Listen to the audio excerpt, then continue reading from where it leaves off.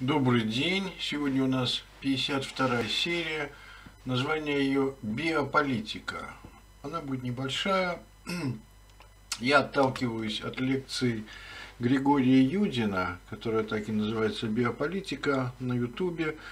9 марта 2016 года на канале «Постнаука». Вот биополитика – это термин, который предложил Мишель Фуко, вот он справа – и который предполагает определенное, определенное э, осмысление государства в одну эпоху, в другую эпоху. Вот сейчас я кратко перескажу, что об этом рассказал Юдин и что предложил Фуко для вот этого обсуждения.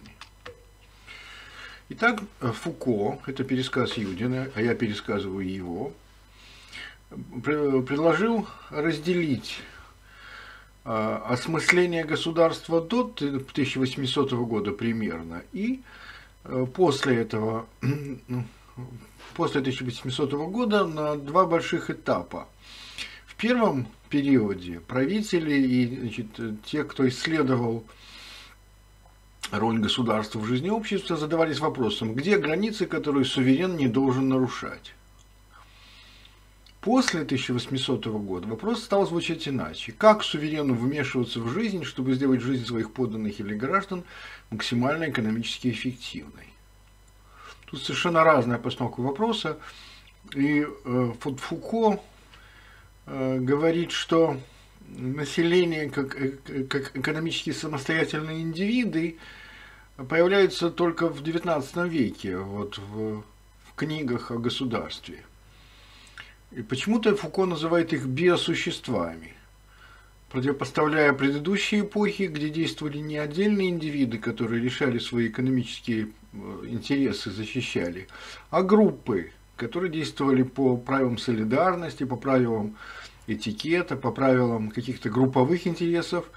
И фактически он противопоставляет социальное существование или групповое существование до 1800 года новому типу существования, биосуществованию в XIX веке. Это, конечно, некоторая, ну, такой эпатаж, я бы сказал. Важно, что биополитика с точки зрения, или в терминологии Фуко, это новый тип осмысления э, соотношения государства и общества, где в обществе действуют экономически независимые индивиды.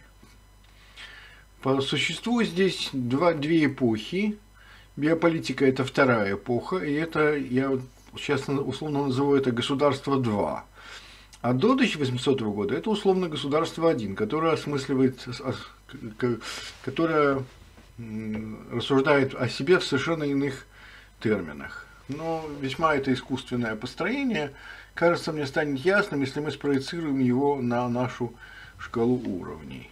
Так вот, много процессов, четвертый уровень, это ролевое сознание. Каждая роль имеет свои ограничения. И вот это рассуждение о том, где границы, э, за которые не должен уходить государь, это э, обсуждение ролевой системы. Конечно, она опирается на э, единую волю третьего уровня, но в целом рассуждение идет о ролевой системе. Когда же мы переходим к государству 2, то это пятый и шестой уровень, население пятого уровня, то есть это независимые свободные граждане, каждый из которых бежит в свою сторону, сам выбирает, куда бежать.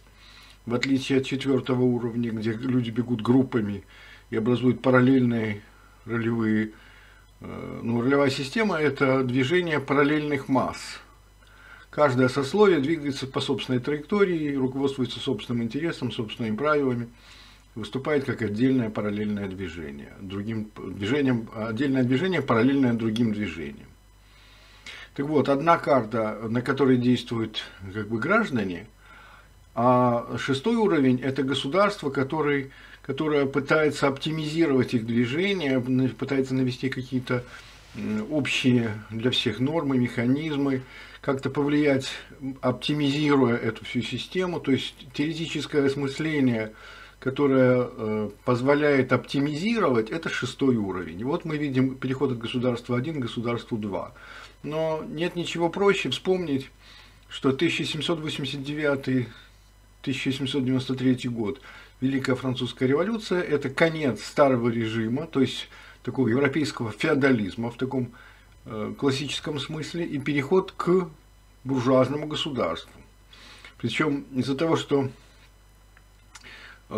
Франция значит, э, затормозила свое возрождение, уничтожила гугенотов, э, осталась католической – фактически не произошло здесь переползание с четвертого уровня на пятый, как в Германии с ее реформацией или в Голландии, например. И произошел скачок уже тогда, когда накопилось напряжение с третьего четвертого уровня сразу на пятый шестой. Именно поэтому революция была такой длинной, такой кровавой.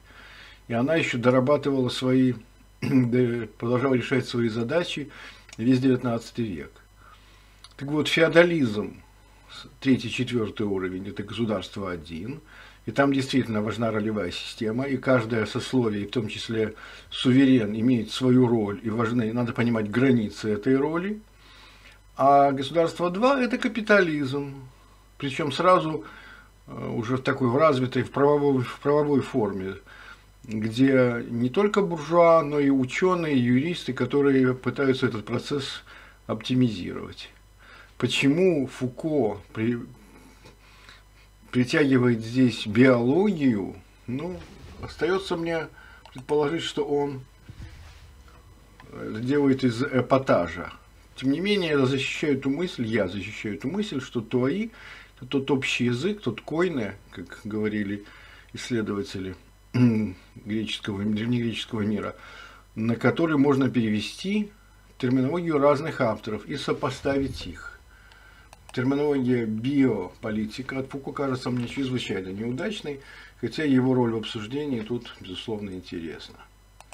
Ну вот и все на сегодня. Продолжение следует.